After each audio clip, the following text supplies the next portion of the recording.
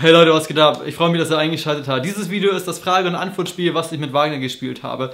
Das Interview oder das, ja, das Frage-Antwort-Spiel ist in einem Interview entstanden und zwar relativ spontan und relativ kurzfristig. Ich habe dann irgendwann gefragt, als wir so ganz viel gequatscht haben, so ey, wollen wir nicht mehr das Interview machen? Und dann mal, jo, machen wir. Bumm, haben die Kamera aufgestellt ähm, und dann ging es auch direkt los. Also wir haben uns eigentlich Vielleicht heiratet dich ja nochmal, ich weiß Auf, ja nicht. ja, das, auf, Ja. Das, auf das wollte ich gerade hinaus und irgendwie erwarten Sie hier.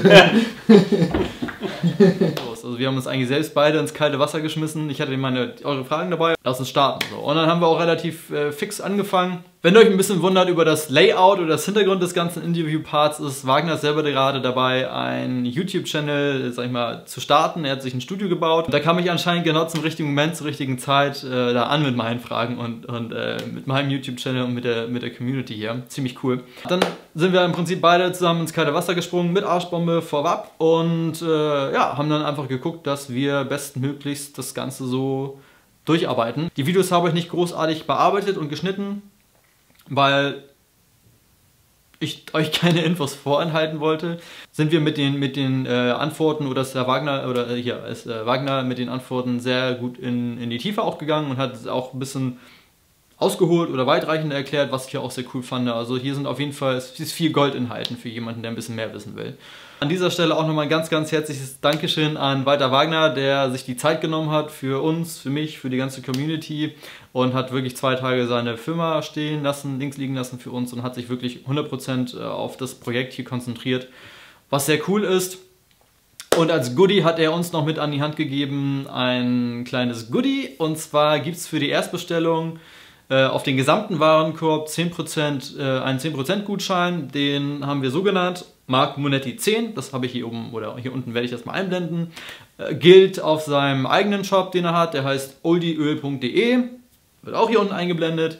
Und wenn ihr Produkte habt oder irgendwie das, das äh, Ganze interessant findet oder sowieso schon überlegt hatte, die Produkte zu kaufen, dann hat er noch ein Goodie mit an die Hand gegeben, der die 10% auf den Warenkorb. Was mich sehr freuen würde, ist, wenn ihr Anregungen bekommen habt, irgendwas gelernt habt, habt oder dadurch neue Fragen entstanden sind, die ihr gerne beantwortet haben wollt, kommentiert gerne das Video. Ich, ich äh, liebe ja Kommentare. Ich finde es immer super geil, eure Kommentare, eure Eindrücke, eure Erfahrungen zu lesen.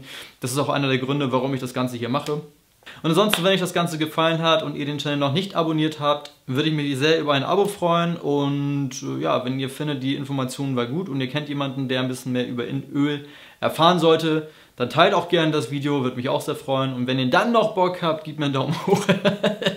ja, das war's soweit von meiner Seite. Ich wünsche euch jetzt viel Spaß für das Video. Ich hoffe, das Intro war nicht so lang und ich verziehe mich jetzt. Also halt rein, Jungs. Peace. Den Vorgang der Verbrennung. Ja. um einfach mal aufzuzeigen, was passiert oder wie verbrennt Kraftstoff. Was passiert, wenn Kraftstoff verbrennt Ja. und äh, welche Stofflichkeiten entstehen bei der Verbrennung. Ja, okay. Ja. Ähm, wir haben Kraftstoff. Und Kraftstoff ist ein Kohlenwasserstoff, Ja. entweder gasförmig oder flüssig. Letztendlich ist äh, Kraftstoff eine Kohlenwasserstoffkette. Ich zeichne das mal kurz auf.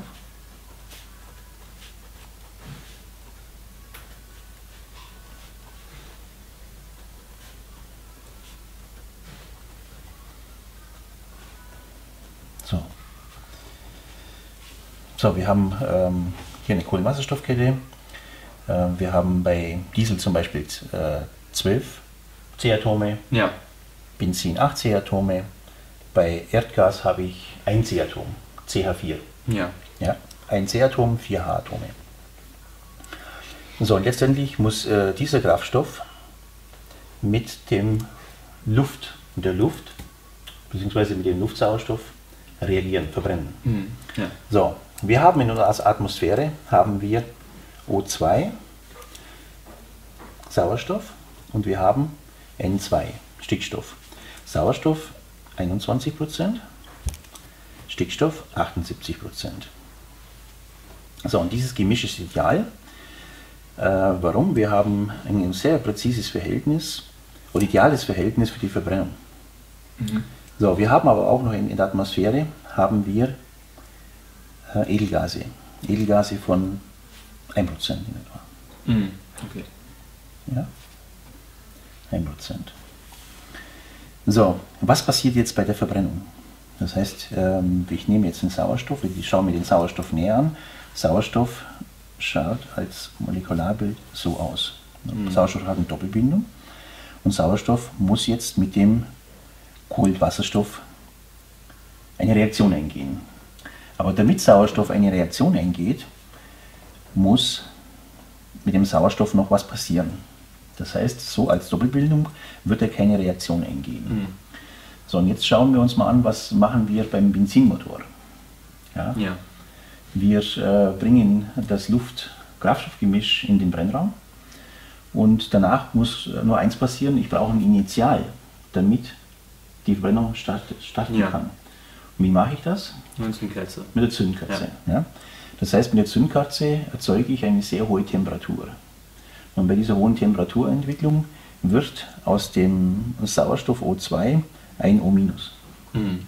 Und dieses O-, das heißt, ich teile das und Sauerstoff wird mit dem Wasserstoff eine Reaktion eingehen. Das heißt, ich habe hab, hab hier H2O.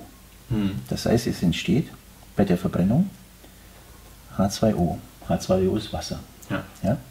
So, übrig bleibt hier ein Sauerstoff, ein, ein weiteres Sauerstoffmolekül.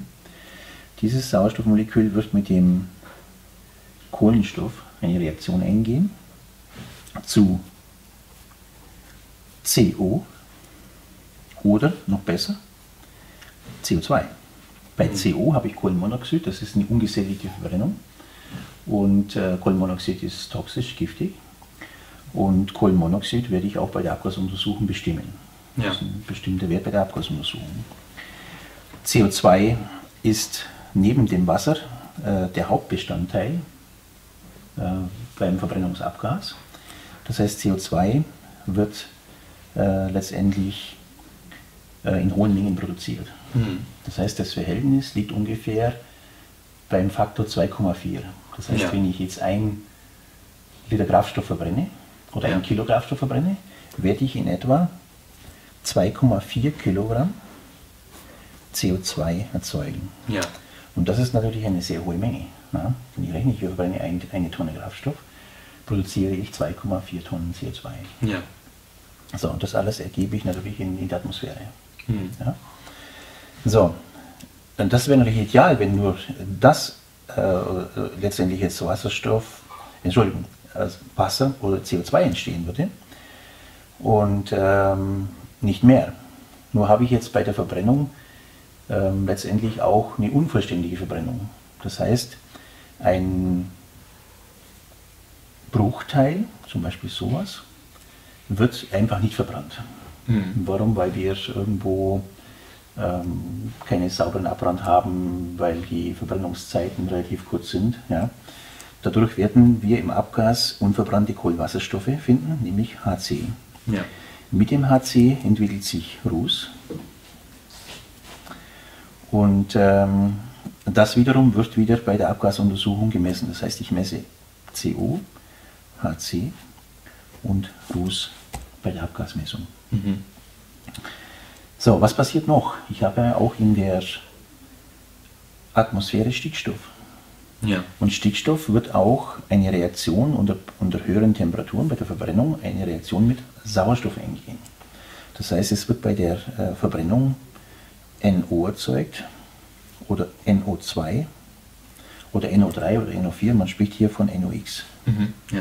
Und das wiederum wird auch bei der Abgasuntersuchung gemessen. Mhm. So, das ist letztendlich, jetzt ähm, haben wir hier mal den chemischen Ablauf der äh, Verbrennung aufgezeigt. Wir haben bei der Verbrennung natürlich in, in, meines Erachtens ein Problem oder eine Situation, da wir sehr, sehr äh, geringe Zeiten haben, mhm. um eine vollständige Verbrennung zu realisieren. Ja. Das bedeutet, ähm, dass ich zum Beispiel am, ähm, zu Beginn der Verbrennung an der Zündkerze eben eine Flammenfront aufbauen muss, die sich dann in den Brennraum hineingeht. Mhm. Und das letztendlich unterliegt einem Zeitverzug. Das kann sein, dass äh, dann eben bei der Verbrennung habe ich natürlich auch einen Druckanstieg. Mhm. Durch den Druckanstieg wird erzeugt durch den Stickstoff. dass durch das ideale Verhältnis zwischen Sauerstoff und Stickstoff werden wir äh, eben die Expansion bekommen, den Druck bekommen, Ja. der letztendlich den Kolben nach unten bewegt. Ja? So, jetzt habe ich natürlich äh, ein, hier einen dynamisch veränderten Brennraum.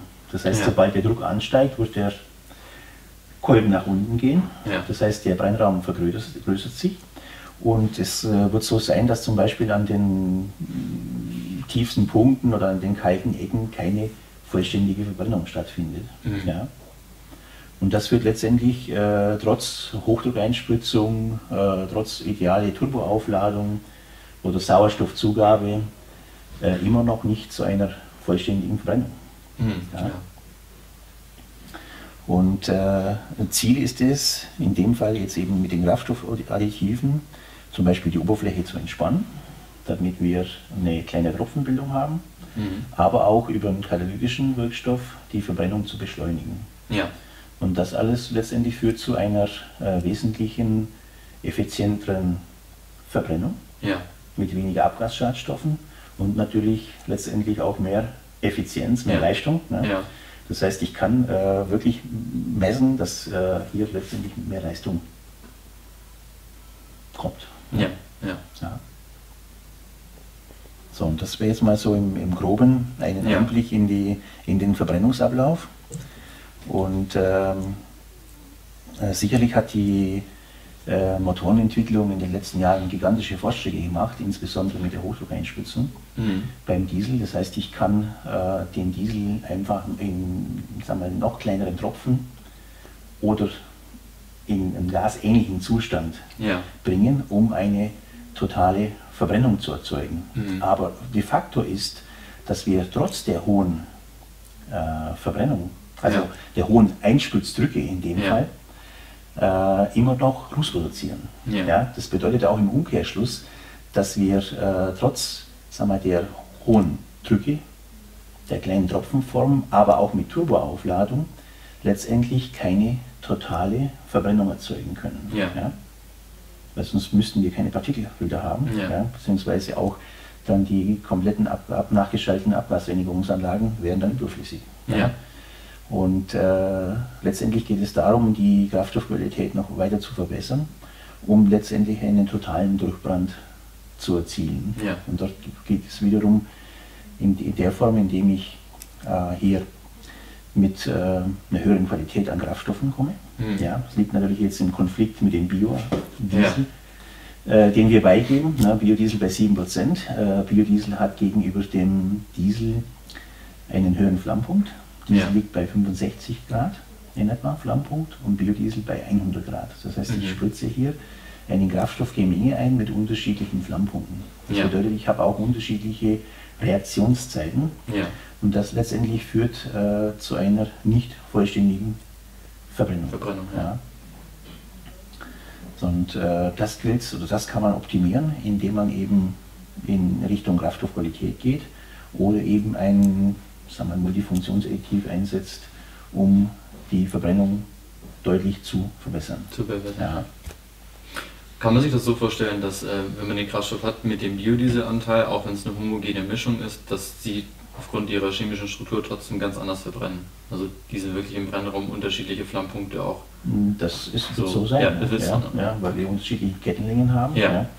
Und es wird äh, nicht äh, gleichmäßig homogen verbrannt werden. Ja, okay. Und deswegen gibt es eben wiederum durch den Biodieseleintrag oder durch den Biodieselanteil letztendlich hier ähm, einen negativen Bild sozusagen bei der Verbrennung. Ja, okay. Und das ist dann der Hebel im Prinzip anzusetzen, den Kraftstoff, die Wertigkeit und die Qualität des Kraft- Kraftstoffs hochzusetzen. Ja. Absolut, ja. Ja. So, das sind letztendlich so die Schwerpunkte. Ähm, letztendlich relativ einfach erklärt, äh, um hier mal einen ganz kleinen Einblick zu bekommen, Ja. was wirklich passiert in einer Verbrennung. Ja. ne? Ja. Was wird es noch für Ansätze geben? Geht es dann auch in die Richtung, die, die Sauerstoffvorbereitung ähm, oder die, die Luftvorbereitung und Qualität auch zu verbessern, um eine, eine bessere Verbrennung zu optimieren? Mm, Sicherlich, man hat ja durch die Turboaufladung mehr Sauerstoff reingebracht. Ja. Aber es heißt immer noch lange nicht, dass der Sauerstoff mit dem Kraftstoff reagiert. Ja, okay. Das heißt, beim Dieselmotor habe ich einen, einen hohen Durchsatz an Sauerstoff. Eine große Menge Sauerstoff geht einfach durch, ohne dass es eine Reaktion mit dem Brennstoff Ja. ähm, eingeht. und somit letztendlich hier eine äh, Situation erzeugen, dass wir trotz allen idealen äh, ja. Voraussetzungen keine vollständige Verbrennung haben. Ja, okay. Sondern das gilt jetzt letztendlich, ähm, ja, letztendlich Aufklärungsarbeit zu betreiben, dass, damit sich auch der, ähm, der Laie oder der jetzt hier unbedarft ist, letztendlich einen kleinen Einblick bekommen kann. Mhm, ja. Was wirklich passiert bei Verbrennung. Ja. Das war jetzt eine kurze Erklärung äh, von Herr Wagner über die, wie sage ich denn das jetzt? Ja, über Verbrennungsablauf. über Verbrennungsablauf, ja. genau. Also, das ist jetzt einmal ein kleiner Einblick über den Verbrennungsablauf und äh, was einfach im Motor so passiert, wenn ihr mit dem Auto unterwegs seid und eigentlich mal noch nicht gefragt habt oder mal ein bisschen wissen wolltet, in welche Richtung das abläuft und wie, wie die Verbrennung bei euch im Motor stattfindet und wie auch die chemische Reaktion dahinter aussieht. Das war ein kleiner Einblick und ich fand es ganz interessant. Mal gucken, was man noch so alles machen kann. Aber denke mal so. Ja, Ganz entspannt, ja, ja. Tschüss. ja, hier, Alex hat auch gerade nochmal geschrieben. Mal gucken. Zwei Minuten noch über. Ja, das waren 15 Minuten, ne? Ja. Das ist natürlich gigantisch.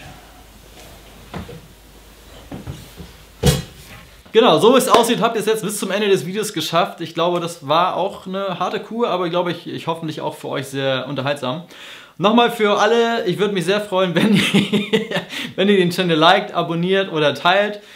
Aber auch wirklich immer kommentieren, was für Erfahrungen ihr gesammelt habt. Wenn ihr bis zum Ende dran geblieben seid, dann nutzten wir mal den Hashtag drangeblieben. Ähm, ja, haut das einfach mal raus. Es würde mich interessieren, wer wirklich bis zum Ende durchgehalten hat und wer Bock hatte oder wer was gelernt hat. Ähm, ja, kann sagen, ich bin schlauer geworden oder sowas. Auf jeden Fall würde ich mich sehr freuen, wenn das Ganze ein bisschen Reichweite kriegt. Ansonsten warten noch sehr viele Videos auf euch. Ja, ich höre auf zu quatschen. Ich hoffe, ihr hattet Spaß. Kommentiert gerne, lasst mich das wissen, ob es cool war oder nicht. Und dann bis bald im nächsten Video. Haut ran, Jungs. Peace.